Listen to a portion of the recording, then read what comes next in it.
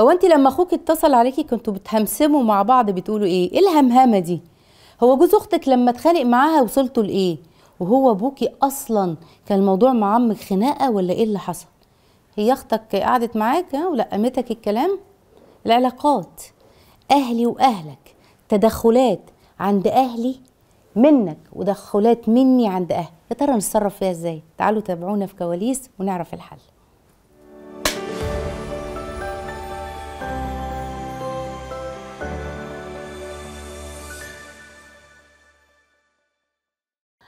الأصل في العلاقات إن يبقى في حدود. الأصل في العلاقات إن أنا أنوب أهلي وأنت تنوب عن أهلك. يعني إيه الكلام ده؟ هو صح إن إحنا نكتب اتفاقات قاعدين قبل الجواز وقبل ما نعمل العقد نكتب طب ما عملناش يا دكتورة وما كتبناش ومش مهم. ما يعني اللي جه متأخر أحسن من اللي ما جاش. نكتب ونتفق. هو ينفع إن أنا أحكي لزوجي عن أهلي؟ هو ينفع أحكي لزوجي أصل أبويا عمل زمان مع أمي أصل أخويا عنده المشكلة الفلانية. أصل أختي بقى وجوز أختي وبعدين أخت مرات جارتهم اللي ساكنة عند بنت خالة عمتهم مثلا. ينفع الكلام ده؟ في موانع عددناهم تقريبا كان تسع موانع تقريبا ممنوع أتكلم فيها مع زوجي. المشاكل اللي خاصة باهلك حاجة منهم أساسية. أبوك عمل إيه؟ أمك عملت إيه؟ مش عشان هو راجل أصل مع راجل استخ مش عايزين نقول الكلمة اللي بتتقال بالمصري ومش عارفة هيعمل إيه وهيطلع.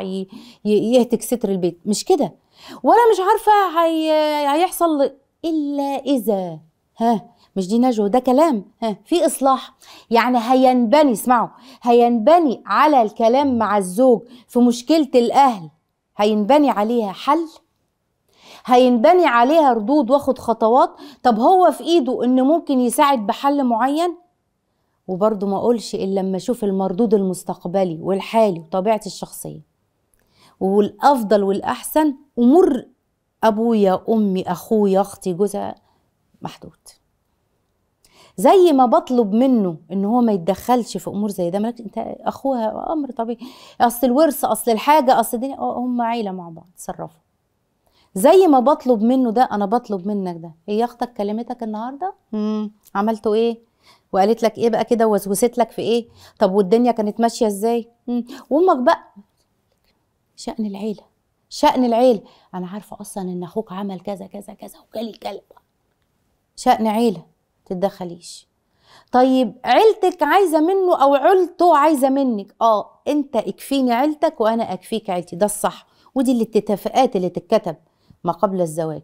أو لو أنتوا سمعتوا الحلقة بتاعت كواليس النهارده تعملوا الكلام ده النهارده. وتقعدوا تتفقوا من أول وجديد. أيوه اللي جه متأخر أحسن من اللي ما جاش. ما غاب من حضر يا جماعة.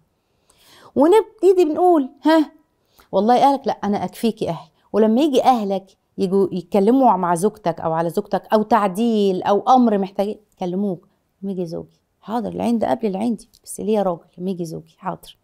وقلته لزوجي طب أسمع منه. ما إحنا قلنا لك لا والله أنا باخد منه هو.